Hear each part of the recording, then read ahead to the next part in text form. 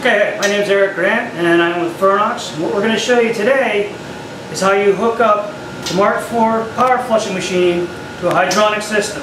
Now what the Mark IV is actually uh, used for is a real quick clean on any closed loop hydronic system. So instead of getting our cleaner in there, letting it run for a couple of days, you can hook this machine up and you can run it for a couple of hours and get a really good clean. Alright, so what you have, this is the machine itself. Whenever it's shipped, it is actually shipped with two uh, inch and a half hoses. Comes with two cam fittings, so you can just hook up a regular garden hose. And what you, on the uh, other end of this, to get it connected to the system, you're going to have a supply, you're going to have a return. So you hook up your supply, what you do, take your supply hose,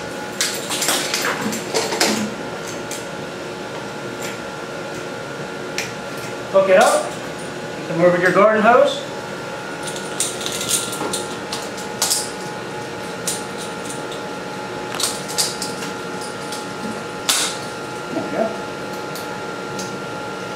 It does have a shutoff valve at the connection point with the garden hose. Then all you need to do, connect this anywhere on your system where that's going to be your input or your supply to the system. Okay, then on the other end, it's the exact same. You just hook up your hose. This is on your return. And you'll connect your cam fitting on your other hose. And this will be your return back into the machine. So what you're doing is you're creating a big circle. Um, so you're going to flow and flush the chemicals through the system and you're going to remove all the debris. So you have the hoses hooked up to the machine. And down here, we have your makeup water or your fill water just coming out of the regular domestics or tap water. All right, this is your valve here that controls that level. And what we're going to do, we're going to start filling this tank. We want to get the water level up to about halfway between these two uh, points here in the uh, glass. And you have a little O-ring here to measure you know, your water level once you've filled it up. All right, so once the water's full, you have all your connections, you can open all the valves on the system side, all the connection points there, but make sure the valves are closed on the machine. So you don't want all that pressure coming back against this. So your first step is going to be, you're going to open up your valve for your supply, and you're going to turn the motor on. Now what this is going to do is it's going to start pumping water from the tank into the system. At this point, that's when you're going to open up your return valve. You're going to have a little bit of air left inside of the hoses, so you want to get that out. What you're going to do is deadhead the pump. Just shut it off a little bit, a little bit of, little bit of pressure build up behind it, open it up, and it'll start pulling through. So that once all that air is out of the system, and you'll see it in the hoses, and you also see it in the tank, your water level should start balancing out. You don't want it going more than an inch or so above your uh, sight glass marker there. And once that happens, you can add your chemicals at that point, and you're fully circulating. And then to control your flow, in case you're getting too much pressure back or too much pressure in, all you need to do is just throttle down a little bit on your uh, intake, and that'll kind of slow it down. So if you basically watch the, the level of water in the tank, and by controlling the valve, you'll keep it right in the middle and you'll balance out the system. So we have been flushing the system for a few hours. We've just been circulating it around, trying to loosen up all that debris, letting the cleaner do its work, getting all of it out in solution.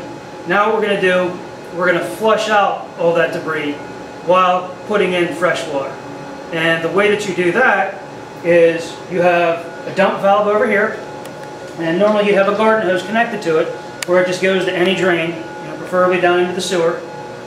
And when you start to drain, you're going to shut this ball valve off, open this ball valve up, and it's going out to the hose. So the water is being forced through the supply into the system and forced out your hose. But we need to watch the water level in the tank, and the way that we do that is we use this valve down here to start putting in fresh water. So as the tank starts to fill with fresh water, it's going to be forcing more fresh water into the system and moving more of the dirty water out.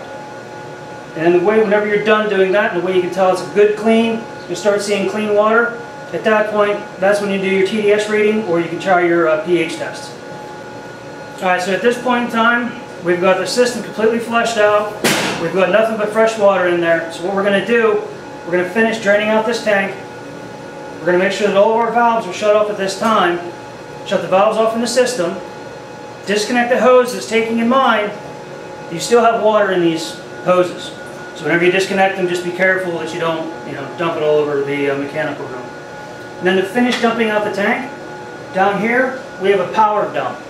Just connect the normal garden hose to that with the machine running. Just crack open the valve. The motor's going to start pushing water out, but you want to keep an eye on the level of the water in the system because you don't want it to get to below the, the impeller level down in the bottom of the tank. So what's going to do is suck air, and we don't want that to happen. So just keep an eye on that. You'll probably have a little bit, maybe a quarter inch or half inch of water. Then you just carefully roll the tank over and dump the rest of the water out.